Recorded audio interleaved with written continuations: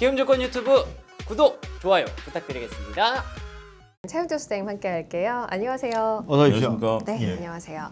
어, 뭐 이번 주도 그렇고 이달 들어서도 그렇고 계속, 계속. 제일 많이 이야기했던 게 맞아요. 테슬라의 네. 배터리 데이였어요. 음. 이제 어, 드디어 오늘 새벽에 마무리가 됐고 사실상 총평은 소문난 잔치에 먹을 게 없었던 게 아닌가인데 음. 어떤 내용들이 있었고 이 배터리 데이가 과연 무엇인지 좀 자세히 뜯어보는 시간 가졌으면 해요. 우리 이제 2차 전지 관련주에도 워낙 영향이 있기 때문에 예. 일단은 테슬라의 배터리 데이 이게 뭔지 음. 원래 쭉 있었던 행사인 건지 뭐 소개를 좀 해주실까요? 어, 테슬라가 보통 이제 그 새로운 기술을 음. 이제 개발하는 것들을 이제 발표를 해왔는데 어, 이번에는 배터리 데이라고 이제 처음 칭했습니다. 음. 그러면서 그만큼 배터리 데이에 대한 어떤 그 배터리 부분에 대한 것들 네. 어, 아무래도 전기차 핵심 배터리 아니겠습니까? 음. 어, 그런 부분들을 나타내는 것을 이제 오늘 우리나라 시간으로 5시 반 발표 예정이었습니다만 네. 어, 조금 뭐 해서 1시간 늦게 음. 6시 반부터 어, 진행이 되면서 지금 뭐 여러분들 뭐 단편적인 뉴스로 속보를 계속해서 확인하고 계실 수 있을 것으로 이제 보여지고 있는데 어, 일단은 뭐 전반적인 얘기들을 제가 지금까지 나온 얘기들을 정리해서 말씀을 네. 드리면 일단 올해 판매량은 좋았다. 그러니까 음. 2019년에 어, 전년 대비해서 50% 어, 폭증한 판매량이었다라면 올해도 역시 30에서 40% 정도. 그러니까 대략 한 50만 대 정도 시장에서 예상을 했었는데 47만 대에서 51만 대 정도 올해 판매가 가능할 것이다 라고 이제 일론 머스크 회장이 발표를 했습니다. 네. 따라서 시, 그 일단은 지금 현재 테슬라가 여러분들 그 재무제표를 보셔야 되는 게 네. 테슬라 재무제표를 보면 매출과 매출 원가를 따지고 난 영업이익이 그렇게 크지가 않아요. 그렇죠. 어, 그런 상황인데 가장 좋은 것은 어차피 판매량이 늘어나면 매출 원가는 줄어들 수밖에 없죠. 어, 그렇게 해서 영업이익을 내야 되는 입장인데 지금 매출이 올해 30에서 40% 급증할 수 있다라는 것들 어, 이런 것들은 나름대로 긍정적인 뉴스다. 우리가 좀 말씀드릴 수 있겠죠. 또 하나 이제 news flow가 나온 게 이제 자율주행차입니다. 어, 1년 뒤에 나올 것이다. 아, 이제 네. 베타 서비스이기 때문에 이거는 제가 볼 때는 그렇게 큰 뉴스는 한 아니다. 한다 그러지 않았나요? 자율주행, 완전 자율주행. 완전 자율주행 어, 이제 베타 테스트. 베타 테스트가 이제 나온다라는 네. 부분들이기 때문에 이런 부분들은 시장에서 큰 뉴스는 아니다라는 음. 근데 부분들이고 완전 자율주행도 그게 예. 아마 시- 그 길거리 돌아다니는 게 아니고 그 베타 그렇죠. 서비스니까요. 실험실. 환경을 만들어서 음, 예, 하게 예, 되겠죠. 그렇습니다. 왜냐면 제 차는 저기 그저 자율주행이 아닌데 네. 네. 주행시차가 자율주행이에요. 자율주행 하겠어요? 무서워서? 어, 뭐 아직은 좀 무서울 것 같아요. 아니 저도 오- 오다가 뭐 여담입니다만 제 차에 오토록 네, 그 네. 개념이 있는데 네. 그 브레이크 응. 그거 해놓고도 약간 못뭐 믿어요. 피곤해가지고 어제 제가 장거리를 뛰고 나서 오늘 아침에 피곤했는데 네. 그거 눌러놓고도 실눈 뜨고 이렇게 자 봤어요. 차가 움직이나 안 움직이나 네. 이게 그만큼 아직은 좀 신뢰성이 좀 그러니까 그 떨어지는 전에 그런 게그 전에도 있죠. 한번 말씀드린 적이 있었는데 음. 우리가 이제 자율주행과 관련해서 설문조사를 한 게 있어요. 네. 그래서 이제 자율주행이 되면 네.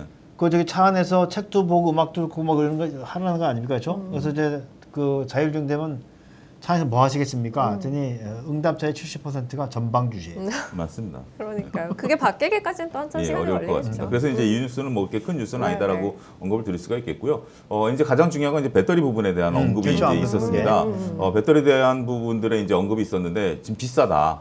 아, 그리고 효율성도 낮다. 이런 음. 지금의 부분들을 배터리가. 이제 얘기를 네. 했습니다. 아, 따라서 지금 현재 어, 배터리 부분에 대한 것들 효율성을 높이겠다. 음. 약50% 정도 효율성을 높이겠다라고 하고 자체 생산 얘기도 나왔습니다. 음. 아, 일단 뭐그 리튬 광산에 대한 네바다주에 대해서 어, 채굴권 허가도 받았다라는 어. 얘기가 나오면서 전반적으로 어, 향후에는 음. 어, 그런 그 부분들에 대해서 어, 조금 그 얘기 그 생산까지 효율성을 높이는 생산까지 얘기가 나왔는데 문제는 이제 이렇게 우리가 이해를 하셔야 되죠. 그렇다면 제가 이제 종합적으로 좀 말씀을 좀 네네. 드리면 어제 이제 그 SNS를 통해서 일론 머스크 회장이 음. 어, 우리나라 LG 화학이라든지 어, 파나소닉이라든지 이런 쪽들에 대해서 음. 어, 공, 그, 공, 그 공급받는 걸 늘리겠다 이런 얘기가 나오지 않았습니까? 네. 그래서 이제 어, 자체 개발에 대한 얘기라든지 이런 것들이 실망감 때문에 어제 어, 장중에라든지 그. 전환 테슬라 주가가 네. 이제 하락하는 그런 모습들을 보였었는데 어, 저는 그런 것 같아요. 일단은 단기적으로 우리가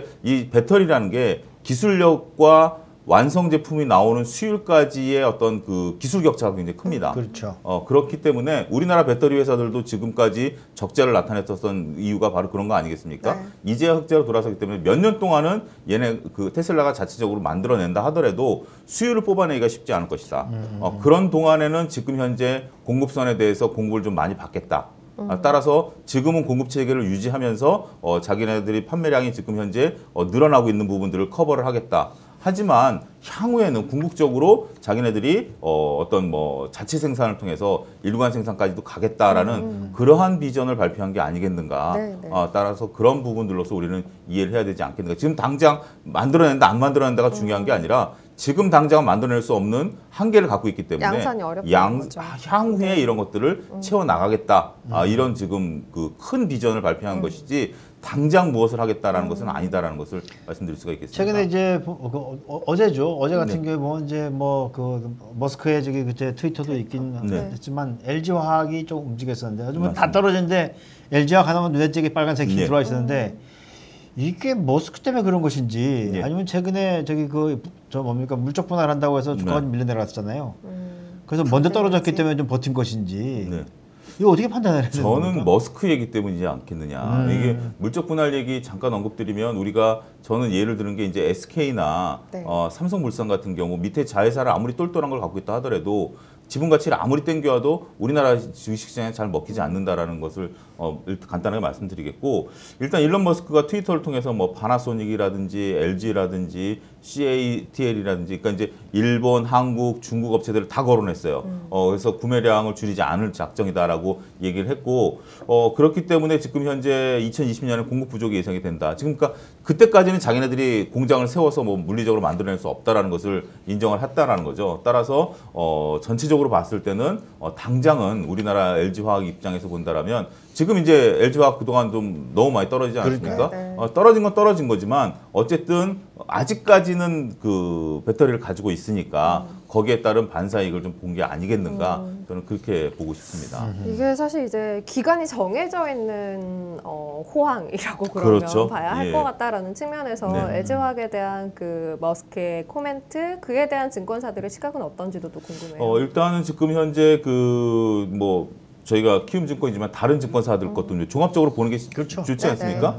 NH증권의 고정호 연구원이라는 분이 이런 얘기를 했어요. 지금 현재 어 일론 아직 이제 요 얘기는 오늘 이제 새벽에 나오고 얘기 나오기 전입니다. 지금 그렇죠. 아직까지 지금 막 속보가 나오기 때문에 증권사들 코멘트가 아직 나오지는 않고 네네. 있는데 이게 어제만 하더라도 그 현재 그 LG 화학이라든지 이런 쪽들에 대해서 의존도를 높일 가능성이 높다. 이게 이제 어제 그 SNS 이후에 네, 이제 네. 나온 얘기인데 어, 단기적으로는 저도 이런 시각에 이제 동의를 하는 거죠. 어쨌든 이렇게 맞춰 나갈 수밖에 없다라는 것들이고 어, 그 다음에 이제 미래에셋의 박연주 연구원 같은 경우도 어, 현재 지금 자체 생산에 대한 우려가 있다라는 게 이제 맞춘 거죠. 어, 그런 부분에 대한 것들도 자체 생산과 물론 이제 CATL과의 어떤 뭐 제휴 부분들도 어, 시장에서 조심스럽게 거론이 되고 있었습니다만 그 부분은 아직 이제 발표가 나온 것은 아니다라고 말씀드릴 수 있겠고 어, 이제 문제는 이제 배터리 데이에 따른 이제 불확실성 이 이제 해소되는 부분들도로서 어, 우리나라라든지 나, 다른 데로 배터리 업체 긍정적인 모멘텀을 기대할 수 있을 것이다라고 보고 있는데 어, 이 시각에는 저도 동의를 합니다. 지금 이제 어, 어찌 됐던 뭐 배터리를 새로 개발해낸다라는 것들 효율성을 높이겠다. 지금 현재 배터리 업체의 당면 과제 아니겠습니까? 일단은 어, 무게는 줄이고 이게 용량을 늘리면 무게가 늘어나니까 그렇죠. 효율성은 떨어지기 때문에 그렇죠. 이게 어떻게 보면은 양, 양날의 칼인데 이거를 두 마리 토끼를 다 잡아야 되는 거죠. 무게도 줄이고 효율성을 높여야 되는 거기 때문에 그러한 당면 과제를 얼마만큼 일론 머스크가 이번에 새롭게 뭐 나선형이라든지 뭐 이렇게 모르겠습니다. 저는 용어를 잘 이해를 못 하겠는데 뭐 이런 부분들을 통해서 과연 해결해 낼 수 있을지 그리고 그게 또 이런 것들이죠. 우리가 이제 또 이런 신기술을 바라보는 시각들이 실험실에서 성공했다라는 거 하고 이게 생산 라인에서 기계가 돌아가면서 이런 것들을 만들어내는 거하고는 또 다른 거거든요. 그렇죠. 어, 그런 것들에 대한 어떻게 캐즘이라고 그러죠. 이 캐즘을 넘어서는 것들을 우리가 얼마만큼 잘 어, 캐치해내야 되느냐도 앞으로 향후 국내 배- 그게 이제 일론 머스크가 만약에 생각대로 진행이 안 된다라면 국내 업체에는 장기적인 호재가 될 수 있는 거죠. 그러니까 이제 그 우리가 보면 이제 과학자하고 공학자가 있는데 네. 과학자들은 자기가 생각해서 어 이렇게 하면 되지 않겠어? 라고 이제 그렇죠. 공학자들한테 얘기한단 말이에요. 네. 공학자들은 그걸 이제 실현을 시켜야 되는데 죽어도 안 되는 그런 그렇죠. 것들이 네. 있는 거죠. 예, 예. 네, 그게 네. 뭐 이게 시- 실험실에서는 이렇게 우리가 이제 간혹 신기술을 보면 그것도 말씀드리지만 이게 되거든요. 네, 거- 네. 대학에선 되거든요. 근데 현장에다 갖다 놓으면 현장에서는 안 되는 거기 그러니까 때문에 차 소장하고 저, 저 제가 네. 그 가지고 있는 당면 과제는 살을 빼야 되는 거잖아요. 맞습니다. 그 다이어트하고 이렇게 하면 빠지지 않겠어? 어, 우리도 숨만 쉬어도 적게 찌는데? 맞습니다. 물만 먹어도 찌는데? 어떡합니까? 뭐, 뭐를 물처럼 드셨는지 생각하셔야 돼. 고기를 물처럼 드셨는지. 아유, 예, 예. 뭐 어쨌든 이제 머스크 생각에는 머스크의 계획이라면 그렇죠. 뭐 내후년쯤에는 그렇죠. 이제 어, 효율성도 높아지고 작아지고 가벼워진 배터 리를 양산할 수 있을 거다라는 네. 계획이나 조금 지켜봐야 할 것 같다라는 맞습니다. 것이고 예. 그때까지 뭐, 뭐 고- 어쨌든 공급이 딸리는 상황이라고 하니 음, 뭐 네. 배터리에 대한 시각은 그렇죠. 긍정적으로 볼 수 있을 것 같다라는 거고. 근데 문제는 이제 에, 이론적인 그 배터리 데이에서 나온 얘기들 이런 것들이 우리 업체들한테는 이게 에, 저기 그 얼마나 아, 효익을 줄 수. 있느냐 그거 아니겠습니까? 어 그러니까 일단은 지금 현재 이제 각 업체들을 한번 좀 살펴보도록 음. 하겠습니다. 일단은 뭐 가장 대표적인 게 우리나라 이제 LG 화학에 대한 부분들 아니겠습니까?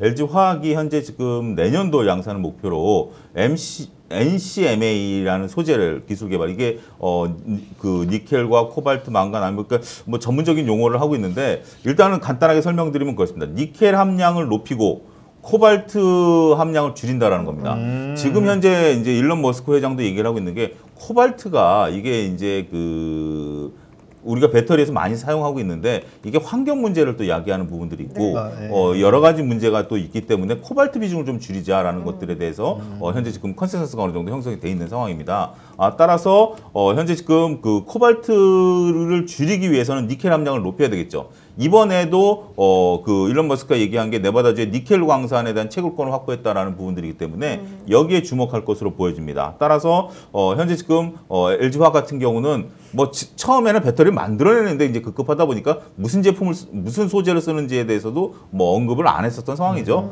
우리가 이제 그다음 처음에는 이제 기술 개발을 하다가 이제 나중에는 환경 문제를 생각하기 때문에 LG 화학 같은 경우 이제 이런 것에 가장 현재 지금 발빠르게 나서고 있는 국내 대표적인 업체다 그렇게 좀 언급을 해드릴 수가 있겠죠. 네. LG화학 말고도 또 예. 삼성 그리고 SDI 도 이제 있고. 삼성 SDI 같은 경우도 올해 상반기만 연구개 개발비로 4천억을 집행을 했습니다. 음. 어마어마한 수치를 집행을 했죠. 어, 따라서 이제 전고체 배터리라는 것을 또 만들어내기 위해서, 그러니까 각 지금 3사가 다 이제 지금 앞서 언급드렸던 양날의 칼을 잡기, 아, 그, 그두 마리 토끼를 잡기 위해서 지금 얘기를 하고 있고, 어, SK 이노베이션 같은 경우도 그 현재 지금 니켈과 코발트 이런 거 한 양극재 전용 배터리를 2010년에 이제 개발을 했습니다만 나머지 부분에 대해서도 현재 지금 여러 가지 이제 노력을 하고 있다. 그래서 이제 환경 문제, 그 다음에 기술 개발 문제, 효율성 문제, 무게 문제 이런 것을 잡기 위해서 하게 되는 거죠. 만약에 이제 이런 것도 우리가 뭐 지금 든 생각입니다만 일론 머스크 회장이 뭐 모든 걸 이제 이뤄 놓은 정말 입지적인 존재 아니겠습니까?